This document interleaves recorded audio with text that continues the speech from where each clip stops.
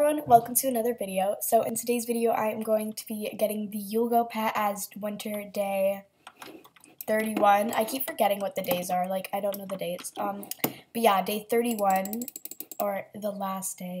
Alright, so we just got to the winter village. Okay, so now let's get the Yule goat. A magical straw goat. I could have just said Yule goat. It doesn't fit my saddlebag. Yay! Okay, so it is in my saddlebag, but yeah, it like doesn't look like it can fit, but I guess it kind of does at the same time. Let's see it running next. it makes pink sparkle. It does pink sparkles when you take it out of your saddlebag. That's so fun. Yes, we've already run my new goat over.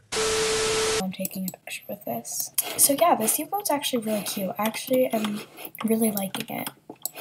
It has a really big bow on it though. That's kind of let's let's dismount and inspect it.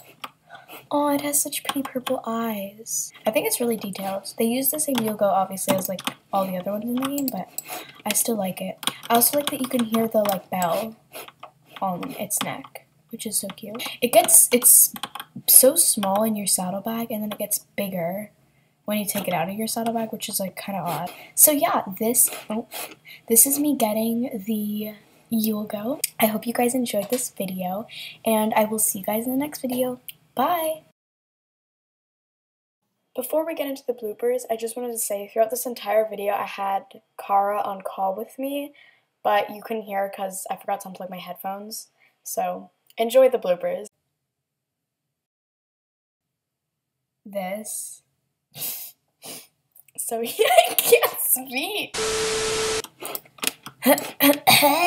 no,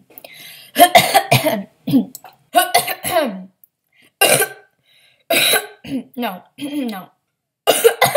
can't do this okay. New welcome if you're not welcome back. So and oh my god. Hello everyone. oh my god.